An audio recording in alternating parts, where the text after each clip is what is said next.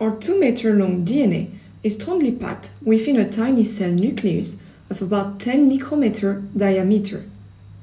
To reach such level of compaction, the DNA is wrapped around scaffold protein to form a structure called the chromatin. Due to external threats, such as UV, but also to natural cellular processes, our DNA undergoes thousands of alterations every day.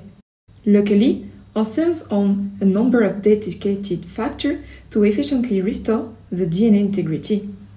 However, since DNA is packed into compact chromatin, a key challenge faced by these repair factors is to detect and signal the damages within such dense environments.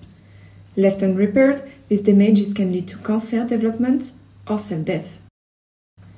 One of the earliest actors in this process is a protein named PARP1.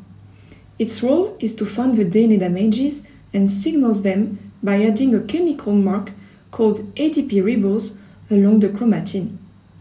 These marks promote the unpacking of the structure and they are recognized by repair proteins promoting their accumulation at sites of damage. In this work, we studied the recruitment mechanism of the protein ACF1 and SMARCA5 that act together during DNA repair. We show that while the accumulation of these two factors to DNA damages rely on PARP1 activity, they do not bind to the ADP ribose marks.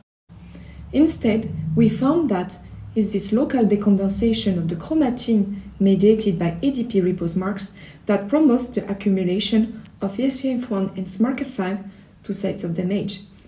Altogether, our findings highlight that ADP ribose marks made by PARP1 are not only a signal on which repair proteins can bind to, but is also important to facilitate access to the DNA damages for factors such as ACF1 and SMARCA5 by locally unpacking the chromatin.